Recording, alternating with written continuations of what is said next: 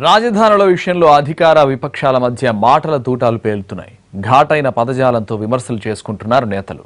క్యాపిటల్గా అమరావతి ఇక ఒక్క ఇంచు కూడా కదలబోదని బీజేపీ ఎంపీ సుజనా చౌదరి ఎలా చెబుతారని ప్రశ్నించారు మంత్రి బొత్స సత్యనారాయణ. మీ మాట ఏమైనా శాసనమా లేక మోదీ మీ చెవిలో ఏమైనా చెప్పారా అని నిలదీశారు. తెలుగుదేశం పార్టీ నుంచి ఇంకో పార్టీకి రాజ్యసభ మెంబర్ చెప్తున్నాడు ఇదంటా ఒక్క ఇంచు కూడా మరడానికి వీల్లేదు. ఇది వచ్చి ఒప్పుకోదు భారతీయ జనతా పార్టీ ఒప్పుకోదు అని చెప్తున్నాడు. నేను చెప్తున్నాను నువ్వేమైనా సరే శాసనమా? నీ మాట ఏమైనా సరే వేదమా? నువ్వు నీ మాట ఏమైనా సరే మోడీ గారు వచ్చి నీ చెవిలో వచ్చి- ప్రధానమంత్రి గారు నీ చెవిలో చెప్పారా? లేదు నువ్వు నువ్వు చంద్రబాబు నాయుడు గారికి నువ్వు బంటు తొత్తువా? ఏంటి నీ మాటలు మాట్లాడుతుంది? ఎందుకు క- అంత ఓంకారిస్తున్నావు గెంకారిస్తున్నావు కదలని నాకు అని మాట్లాడుతున్నావు. ఆలోచన చేయమని కోరుతున్నాను.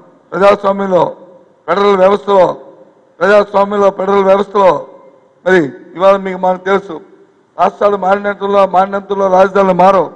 కానీ జరిగిన తప్పులు సరిదిద్దుకునే అవకాశం ప్రజాస్వామ్యంలో ఆ నాయకత్వానికి ఆ ప్రజలు మరి కట్టబెడతారు.